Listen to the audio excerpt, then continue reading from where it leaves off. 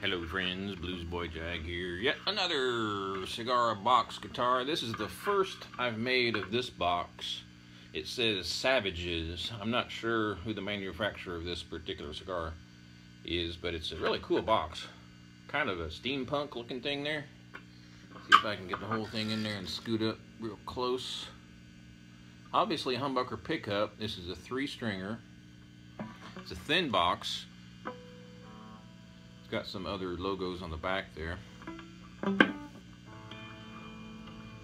And uh, it's a long box, a little bit longer than most of the cigar boxes by about two or three inches. And so it gives it a really cool balanced look instead of having a smaller size box here and a long neck. You know, it's a little bit more balanced as far as the comparison of the neck length and the box length. And uh, I make all my CBGs with one volume control, no tone at all. So there's the volume right there.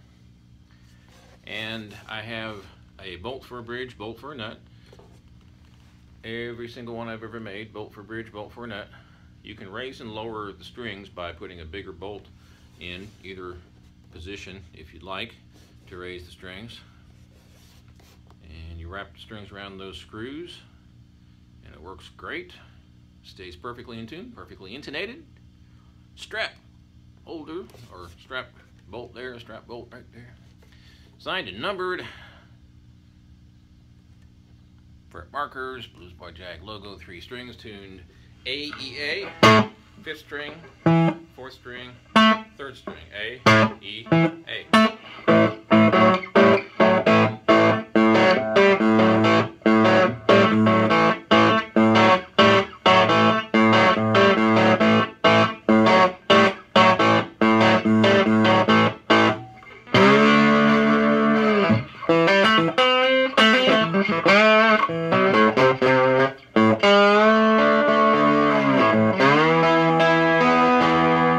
Built-in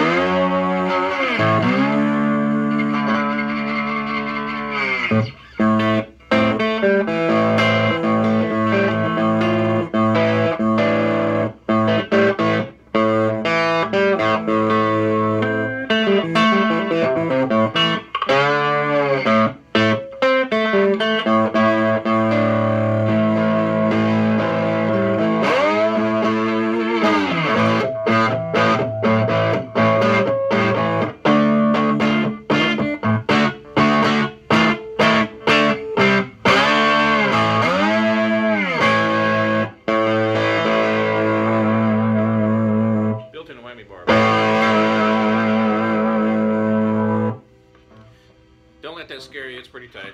You really have to yank on it pretty hard.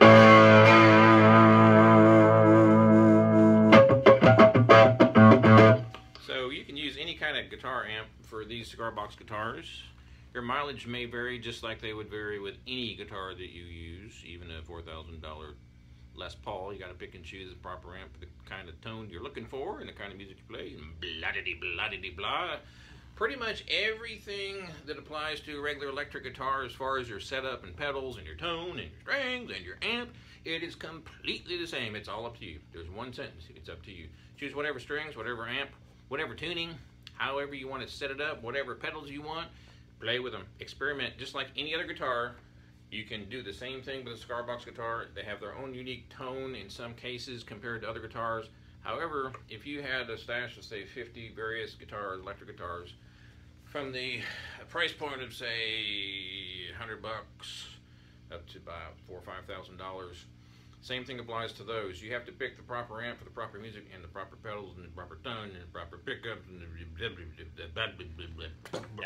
Same thing, same thing, same thing for cigar box guitars. There is no special, gotta have this for cigar box guitars, gotta use these strings, gotta use this pickup, gotta use these pedals, gotta use that, gotta, got, nope, nope, nope, nope, whatever you want, whatever you want, whatever you want.